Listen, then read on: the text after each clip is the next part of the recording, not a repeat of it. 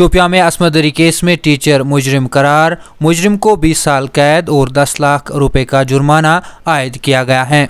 वजह रहे कि जनूबी कश्मीर की एक अदालत ने पीर को एक टीचर को 2015 में आठवीं जमात की एक तलबा के साथ असमत दरी के इल्ज़ाम में कसूरवार ठहराया है। पेश हैं शोपियाँ से हमारे नुमाइंदे मुजमिल याकूब की एक खास रिपोर्ट। उन्होंने एक केस की समाप्त करने के दौरान एक मुजरम को उस तीन सौ छहत्तर, पाँच सौ छः और तीन सौ बतालीस में मुजरम करार दिया जो कि 10 तारीख को ही अनाउंस हुआ था और आज क्वांटम ऑफ़ पनिशमेंट की नस्बत उसको सज़ा सुनाई। वाकई तौर उसने बड़ा संगीन जुर्म किया है, जिस नस्बत उसको मद्देनज़र रखते हुए उसने मुलजिम को 20 साल की बामुशक्क़त सज़ा सुनाई और 10 लाख रुपए का जुर्माना भी आयद किया।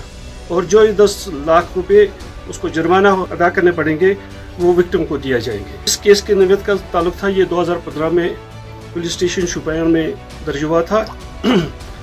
और जिसमें ये एलिगेशन लगाई थी कि एक लड़की जो तालिबा थी government high school D K में, उसका टीचर मोहम्मद बुल गनई सनाफ मोहम्मद अनवर गनई साकिन डी के पुरा जो वहाँ के उस्ताद रहे हैं, उसने उस बच्ची को अपने घर बुलाकर उसको कमरे में बंद किया, उसके बाद उसके साथ रेप किया, जो बहुत ही संगीन जुर्म उसने किया था, उसके साथ उस लड़की ने वहाँ से भागते हुए थाने पुलिस में आज खुद रिपोर्ट दर्ज करने की हिम्मत की।